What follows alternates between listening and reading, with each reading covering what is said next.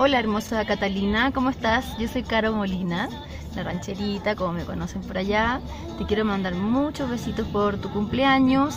Eh, número 5 me dijeron que era tu papito Erwin, me, pidió que te mandara este saludo y que te cante un pedacito de...